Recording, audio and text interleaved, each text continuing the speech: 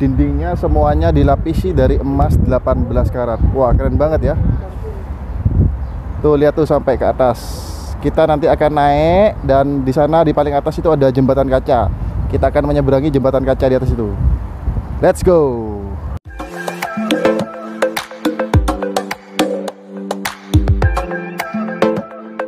Sekarang saya sudah sampai di Dubai Frame ya, di mana bangunan ini adalah Dubai Frame yang sangat besar sekali, di mana ini melambangkan perbatasan antara kota Dubai yang lama dengan kota Dubai yang baru. Dan luar biasanya dari pembangunan Dubai Frame ini menghabiskan dana sekitar 230 juta dirham alias 1 triliun rupiah. Wow, karena frame-nya ini dilapisi dengan emas 18 karat. Kita pengen tahu dalamnya seperti apa, kita akan masuk ke dalam.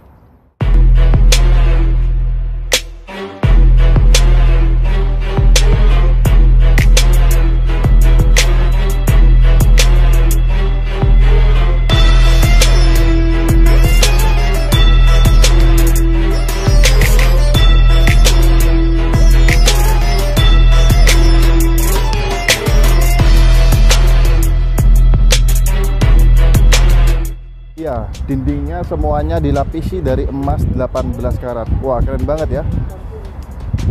Tuh lihat tuh sampai ke atas. Kita nanti akan naik dan di sana di paling atas itu ada jembatan kaca. Kita akan menyeberangi jembatan kaca di atas itu. Let's go.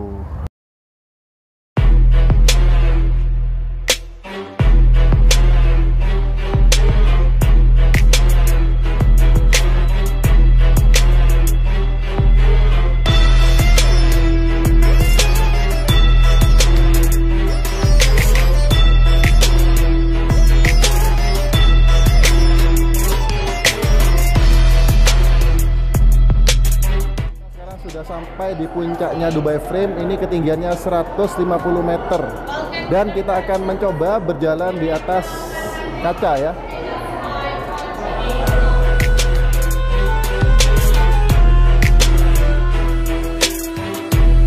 Sekarang saya akan mencoba berjalan di atas kaca ya. Wah. Ngeri banget ya.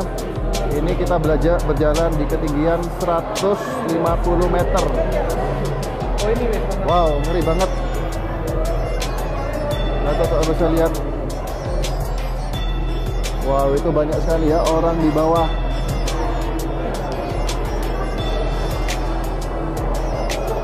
Ini dia adalah sisi Dubai lama ya, di mana bangunannya masih tidak terlalu tinggi, masih pendek-pendek ya. Adalah sisi Dubai baru ya, di mana sudah banyak gedung-gedung pencakar langit dan di sana Anda bisa lihat itu yang paling tinggi adalah Burj Khalifa, menara tertinggi di dunia. Keren sekali.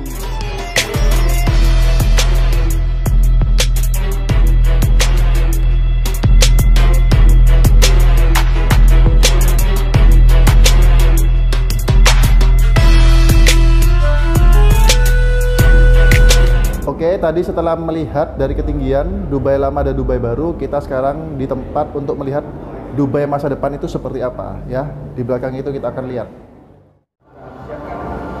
Ya, inilah Dubai masa depan. Sudah disiapkan blueprint beberapa tahun ke depan. Luar biasa sekali ya.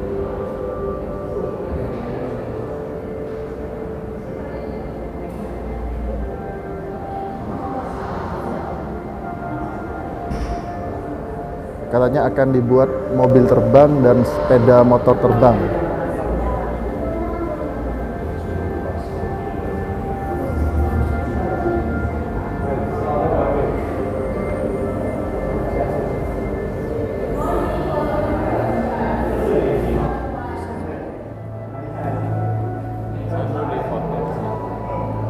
Sudah keluar.